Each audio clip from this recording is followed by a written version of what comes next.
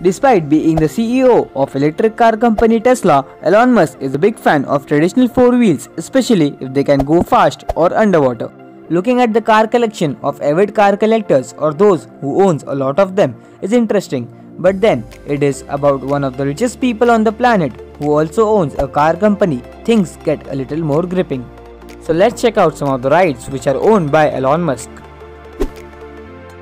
Released in October 1908, the Ford Model T was Henry Ford's very first attempt to build and mass produce a car to offer to the public. The most influential car of the 20th century, the Model T was a gift to Musk from a friend, which makes sense as an influential car to an influential man. The Ford Model T was just $850 when it was released. Before Musk moved to Canada in 1988, he was 17 and fell in love for the very first time. No, this isn't about relationship, but it was the Jaguar E-Type Roadster.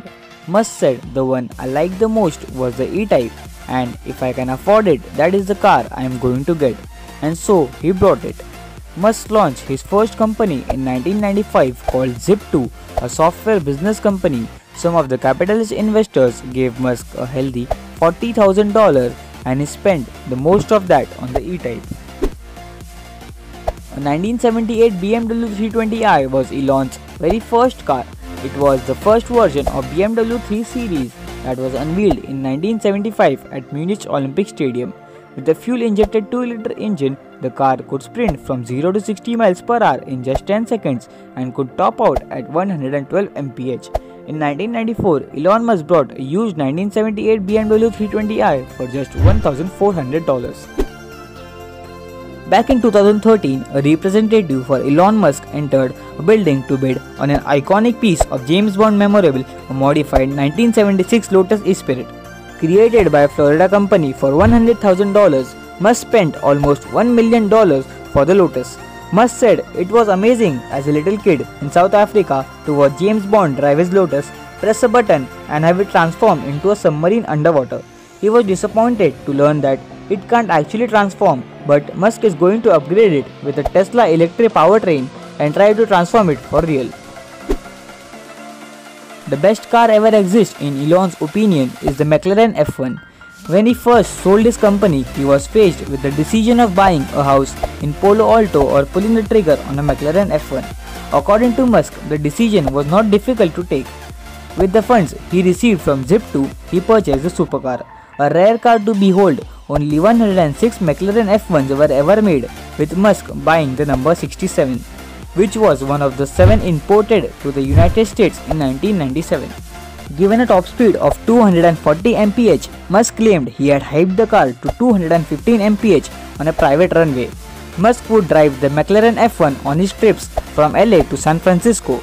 Musk didn't even bother with insurance as he thought he would never be someone who damages a McLaren F1.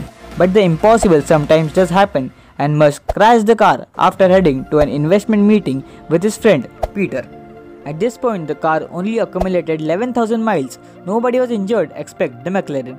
At this point of time, Musk was the founder of X.com, a payment company that was merged with Confinity, which would become PayPal.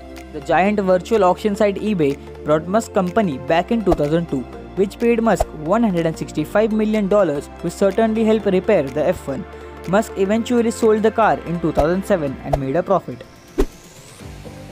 BMW specialist turned the incredible M5 into something even greater. With a 5-liter V10 engine under the hood, Hamann was able to top into the car and increase its horsepower rating to 603, while also increasing the speed from 150 mph to an insane 199 miles per hour. The 4-seater car was so fast that it may have helped Musk as he launched the Tesla Model S with Ludicrous mode. Back in 2008, Tesla unveiled the first electric car known as the Roadster. Utilizing lithium batteries, the car had a range of 227 miles. The Roadster was able to go from 0 to 60 miles per hour in a lightning speed of 3.7 seconds, which was the same acceleration speed of a Lamborghini Gallardo. The first person to own the Roadster was none other than Elon Musk, who used the car as a daily driver for years.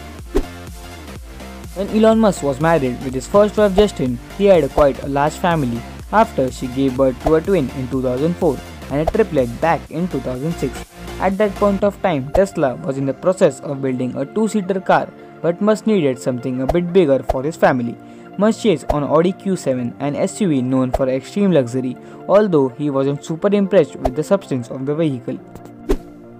Elon Musk was asked which car he drives the most. The answer is his Tesla Model S. This 4-door electric car sits up to 5 people and it can sprint from 0 to 100 in less than 3 seconds, all thanks to the ludicrous mode launch system called a game changer by the Top Gear magazine. Elon Musk has a strong love for Porsche 911, an iconic German car. The Porsche 911 is still one of the top cars to own for a car lover to this day. Elon Musk's one issue with the Porsche 911 was the engine's strong thrust fire gas. In 2003, Musk met up with the engineer J.B. Straubel to discuss ideas for future technology. And his ears perked at the thought of the cars that were powered strictly by batteries. Straubel had been working closely with Alan Cocconi, a man who successfully made a prestige electric car called the T0. Musk tried to buy it but Cocconi refused to sell the car. Musk asked if he could turn his 911 into a EV car. Put a lithium pack in my car Musk begged Cockney. I have a Porsche. If you can take the guts out of it and make it an electric car, I would be willing you to pay to a quarter million dollars, Musk said. Cocconi still resisted, but he put Musk in the right direction by getting him in touch with a few people who had a e-company of their own.